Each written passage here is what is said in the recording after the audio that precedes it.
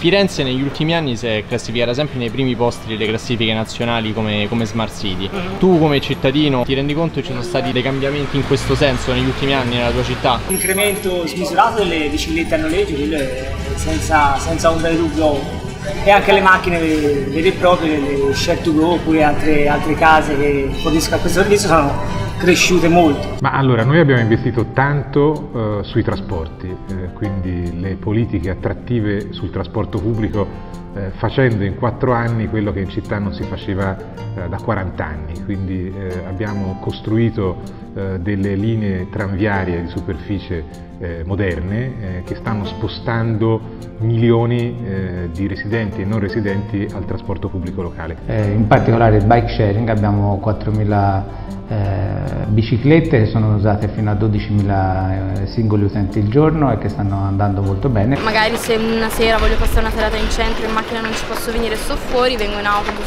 o noleggio una macchina direttamente, prendo una bici se sono a Firenze, se sono fuori prendo una macchina fino alla zona blu.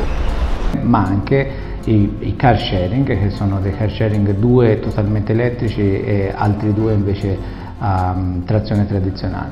Io, io, ti dico che uso car sharing ed è molto comodo, diciamo, non magari usarla sempre, però è molto comodo. Firenze mi sembra, se ne ragionava prima noi, che la si stia un po' adatta, evolvendo, però e ci vuole generazioni. Ci vuole e poi c'è un filone eh, ormai eh, maturo del Comune di Firenze dei servizi digitali che vengono offerti al cittadino. Li abbiamo ampliati eh, tanto, eh, arriveremo alla fine di questo mandato, quindi nel 2019, a far sì che tutti i servizi eh, dei cittadini siano online e tutti i servizi, ad esempio di pagamento, eh, siano online.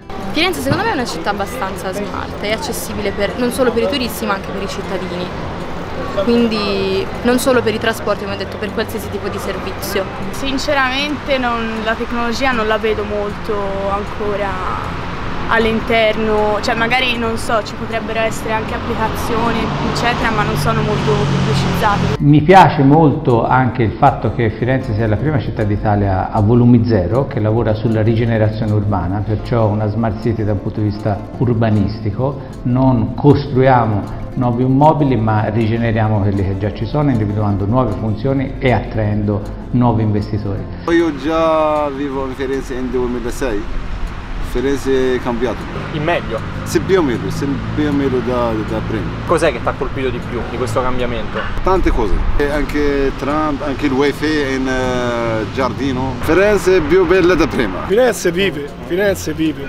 Firenze vive.